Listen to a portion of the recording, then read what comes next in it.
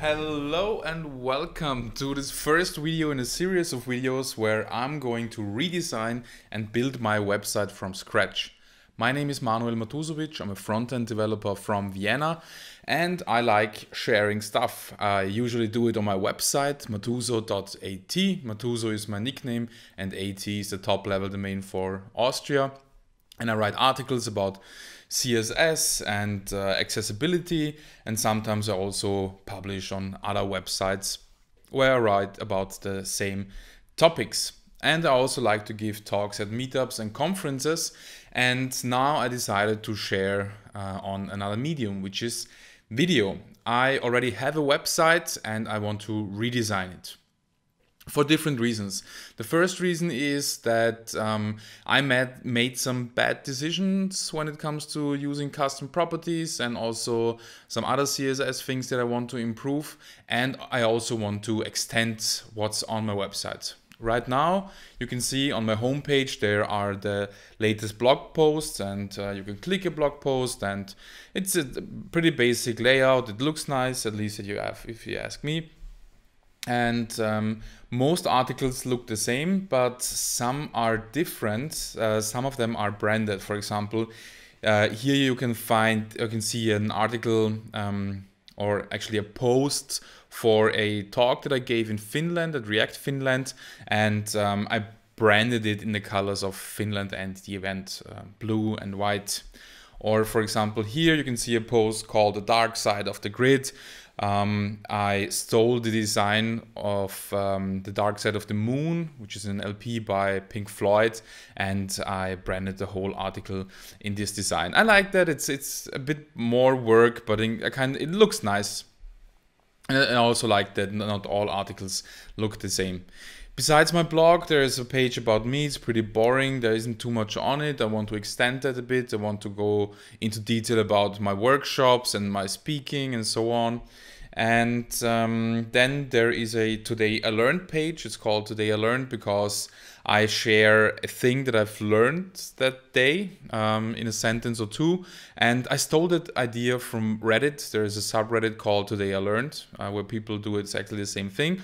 But um, I put it on my website and uh, I share web stuff. For example, the last thing is you can list all pseudo elements of an element in the CSS pane in Firefox Developer Tools. I didn't know that before that.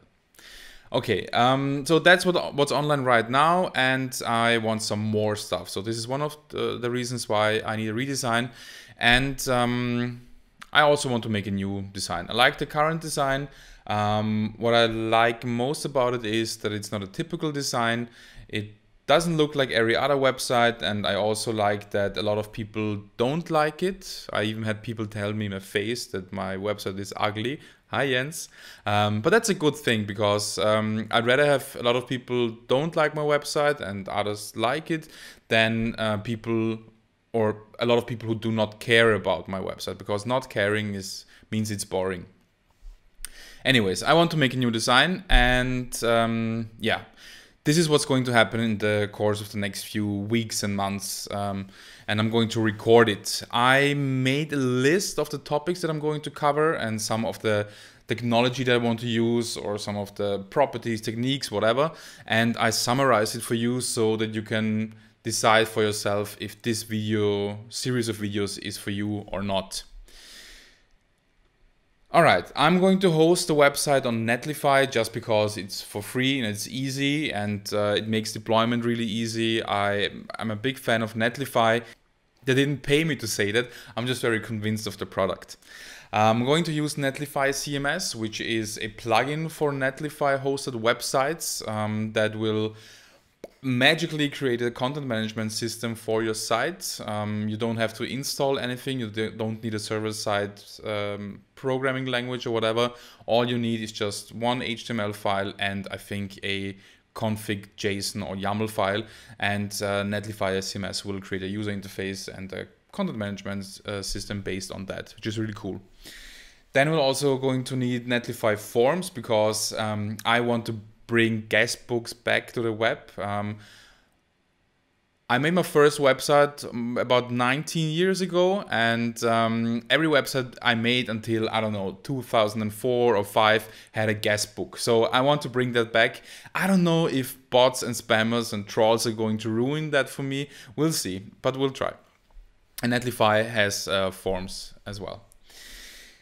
I'm not going to use any programming language like PHP or Python or Ruby or whatever to create my website. I'm going to uh, use good old HTML, but I'm not going to write HTML files. I'm going to write Markdown files and uh, use Eleventy, a static site generator, to create HTML files out of Markdown and Nunjucks files. I'm a big fan of Eleventy. Pretty much everything I build at the moment uh, is based on Eleventy. It's a fantastic tool. You're going to love it. Shout out to Zach Leatherman who built it. It's just perfect. Um, then I'm going to talk about designing in the browser because I made a design for my website, for my current website and for the new one and I didn't use Photoshop or Sketch or anything I designed it completely in the browser and I'll talk a little bit about that in the next video and how to find inspiration or at least how I find inspiration for designs as someone who's not a designer per definition. I'm going to write Sass uh, and uh, or actually CSS and I'm going to use Sass for stuff like includes and mixins and variables. We'll also cover gulp because um, I need, I don't know, I need Gulp for minifying and uglifying uh, CSS and JavaScript files and stuff like that. Maybe some image optimization. We'll see. I don't know yet what, what we're going to use it for, but I know that I'm going to need it.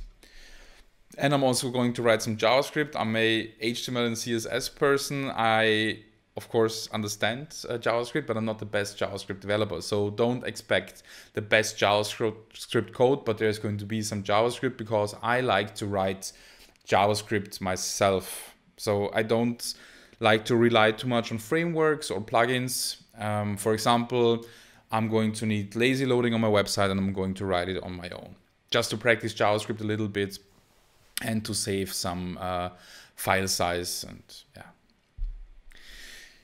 Speaking of file size, performance is going to be a, an important topic. I like my websites to be fast uh, so that users have a great experience. So it's a usability and user experience concern, but and an accessibility concern as well. So um, performance is important. We're going to talk a lot about performance and I will try to make it as fast as possible. And another important topic is accessibility. I'm an accessibility person. I care a lot about accessibility in my users, and I want to make sure that as many users as possible can use my website. And um, yes, if I talk about accessibility, of course, I have to talk about progressive enhancement as well. So I want to make sure that not that, that the website is accessible not just to as many users as possible, but also to as many devices and operating systems and browsers as possible. For example, I bought this Nokia 3310 about two years ago, which is a redesign of the old Nokia phone. And um, it, it's, a great phone, it's pretty cheap, and it has a browser, uh, Opera Mini. If you visit caniuse.com and you search for a property and you see all green in every browser except for one, that's usually the browser that's installed on that phone. So th this is an interesting challenge. We're going to make this website work on my uh, feature phone here. I already mentioned that some of the articles are themed. So uh, we have this Dark Side of the Grid article and the React Finland article. So I'm going to talk about theming a lot and I'm going to try to find a new strategy on how I'm going to theme my sites. There's some CSS stuff that I want to, to implement, like dark mode, and uh, I'm going to use CSS Grid if it makes sense, and I want to use custom properties. Ideally in a smart way. We'll see uh, how we're going to use them, if we're going to use them um, yeah, DevTools is another important topic. I like to use DevTools a lot and, um, to use as many features as possible of DevTools. And I'm going to talk a lot about that and, and, and see if I can find something that you don't know already about uh, DevTools. We might talk about Puppeteer as well, because for the Today I Learned section, I want to um, have the ability to add codes. And when I publish it, I want to run a script that will take a screenshot of this code sample that I wrote and use it as the preview image, preview image on social media.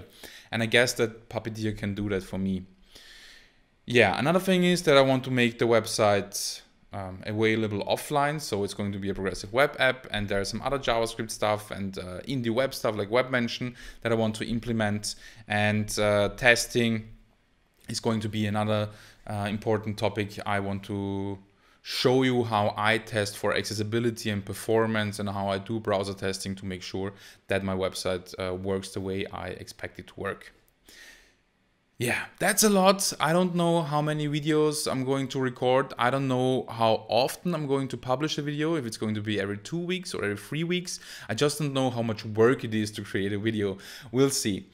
And um, yeah, that's it for the first video. What I need now is your feedback. Please tell me if this is interesting, if you are, I don't know, if, if I caught your intention if you are waiting for the next video, video to publish.